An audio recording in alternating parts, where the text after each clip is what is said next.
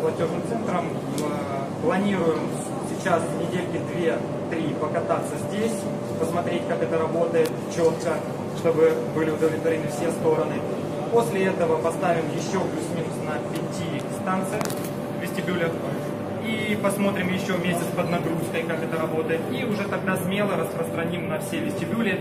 Я думаю, что реалистичный срок это 3-4 месяца. до 6 месяцев. До 6 месяцев. До 6 месяцев На, как минимум один турникет на каждом вестибюле однозначно будет, чтобы на каждом вестибюле любой человек, любой картой мира мог оплатить. Попробуем. Попробуй. Давай. Я могу Вашу карту, вашу карту. мою карту.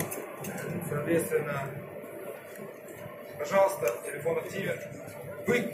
Ну Я- давайте вы. Хорошо. Все, проход разрешен. Я могу пройти, конечно. Уже заработал метрополитен. Кто еще желает потратить на благо метрополитена? Так, пожалуйста. Кто еще? Журналиста нет, да? Закончилась основная часть, мы, собственно, сейчас попробуем сразу же одновременно пройти при помощи карты. Для этого точно так же, как используя, как и метрополитеновскую, нет необходимости ее извлекать из кошелька. Вот смотрите, пожалуйста, мы прикладываем ее. Это немножечко дольше, чем при использовании карты и тикет, но, как обещают, э, серьезных проблем не будет, так как это тестовый период. Ну а мы переходим к брифингу. Один такой автомат на одну станцию. Значит, то, что касается сейчас, э, только что вы видели презентацию этого аппарата. Этот аппарат первый. Мы договорились сегодня и э, с инвестором, и с э, Физой о том, что такие аппараты, э, сегодня мы апробируем этот аппарат в тестовом режиме. После этого, в течение трех месяцев, такие аппараты будут появляться на всех станциях метрополитена, и мы рассчитываем в течение полугода окончательно, что на всех станциях метрополитена в городе Харькове появятся подобные аппараты. Этот аппарат сегодня режиме. Ну, то есть будет всегда один аппарат на станции. не Сейчас будет один аппарат на станцию, потом мы будем смотреть по мере потребности. Мы понимаем, что мы должны прежде всего думать о удобстве людей. Мы должны прежде всего поставить аппарат так, чтобы не создавать очереди на пути и наплыв, особенно в, пиковые часы, когда э, в основном люди. Поэтому мы посмотрим, от той потребности оттолкнемся, которую мы изучим. И если нужно будет, будет появляться или один, или два, или три, в зависимости от того потока людей, э, который, который будет станции, для того, чтобы, не дай бог, не создать неудобства для людей. Не тикета как будут работать? Значит, то, что касается этикета, я хочу четко, чтобы здесь э, средства массовой информации, все жители города Харькова поняли, что эта программа работает в рамках этикета. В рамках этикета. Она не работает отдельно. Не работает отдельно этикет. Это общая программа. И именно в рамках реализации программы этикет сегодня разработана эта система. В трамваях и троллейбусах нужно будет заплатить так же, как... Это- давайте мы начнем, давайте мы начнем с метрополитена. С метрополитена. А понятно, что у нас грандиозные планы, но давайте оттолкнемся от чего-то. Начнем опробировать здесь. А дальше посмотрим, как, как сделать так, чтобы, конечно, максимально удобно для людей было. Обслуживать кто будет? Также инвестор? Абсолютно.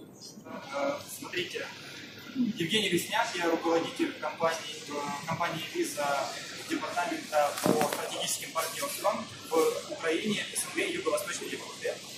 И, соответственно, хотел бы кратко рассказать об этой истории всей и что же здесь в итоге произошло. В компании Visa мы давно видим необходимость открытия подобных э, сервисов на транспорте, потому что это вызвано в первую очередь спросом граждан.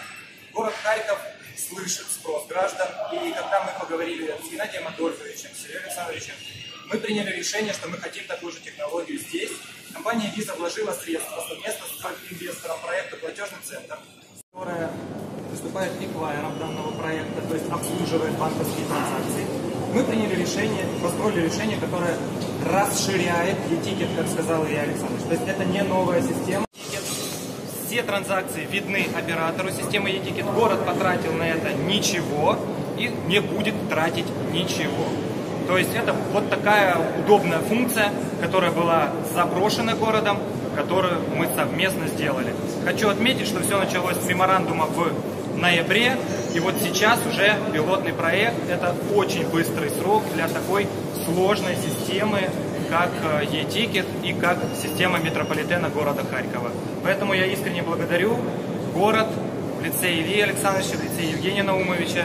Я благодарю в лице департамента цифры Олега Дробота, который очень включился и пошел семимильными шагами вместе с нами.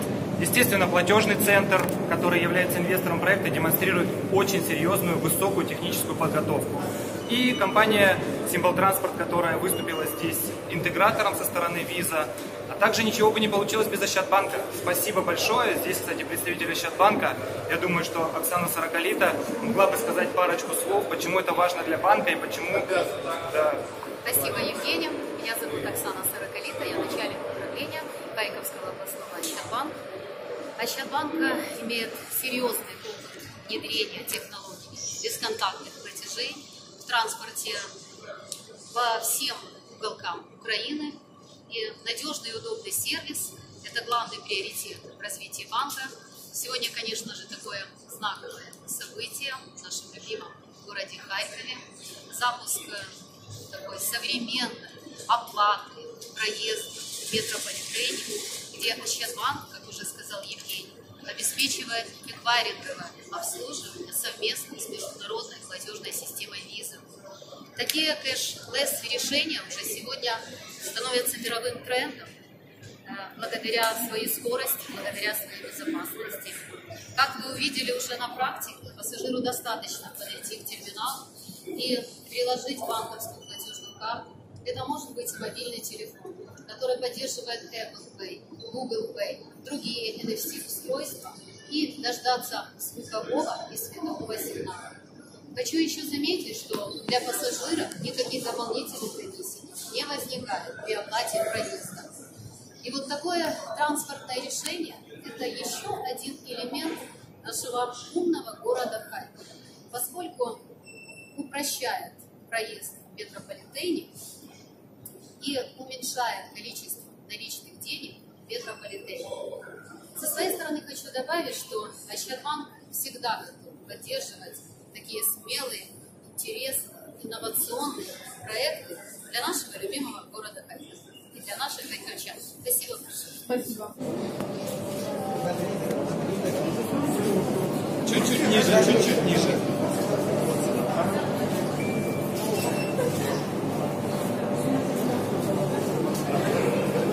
В Харькове легко масштабируема, при этом единая система, единый интерфейс, как видите, то есть э, единый оператор в лице платежного центра.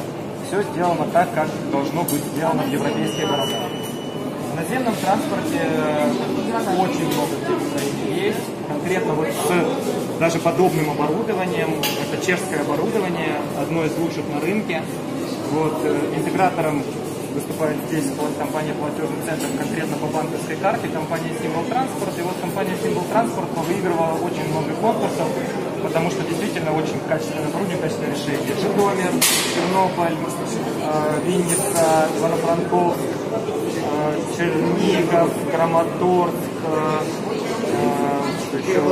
Кривой Рог, Ровно, Драгобыч. Наземка катается. В Житомире, я так понял, даже похожие аппараты стоят, то есть одной линейкой. Да.